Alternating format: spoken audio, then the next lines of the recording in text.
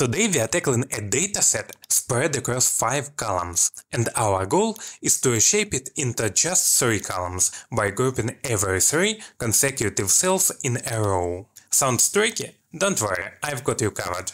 It's a great way to get comfortable with list functions in Power Query. First of all, let's combine the rows into a single list. Create a new step and we'll start by applying the table to rows function. This converts each row of the table into a list. Think of it like grouping all the cells in one row into a neat little box. Why start with a single list? By combining everything into one list, we simplify our table structure, making it easier to group and rearrange the data later.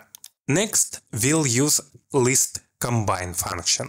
This takes all those row-level lists and flattens them into one big list containing all the table values. If there are any empty cells or nulls, you'll want to get rid of them now.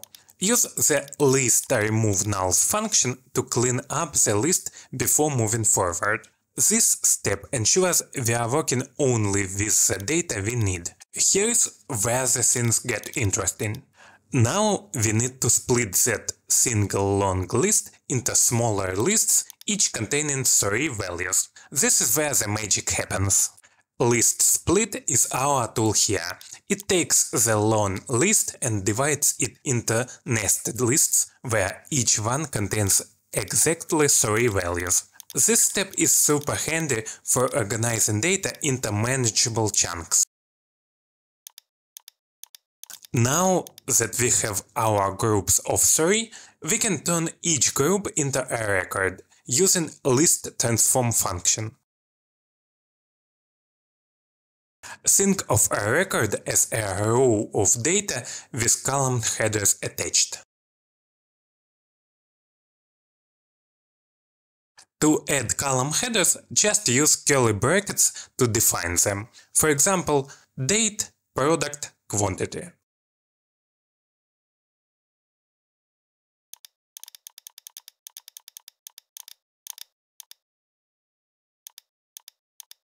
Finally, we use the table from records function to stitch everything together. This takes our records and combines them into a single cohesive table. And that's it. If you are comfortable with M language, you can combine all these steps into a single formula for a more efficient workflow. It's a great way to show off your skills and save even more time. So we reshaped our massive 5-column dataset into a neat table with 3 columns using some powerful list functions. Not only did we accomplish our goals, but we also gained some valuable insights into how lists work in Power Query. Thanks for sticking around and if you'd like to see how to solve this challenge using dynamic array formulas in Excel, check out my other video linked in the description. See ya!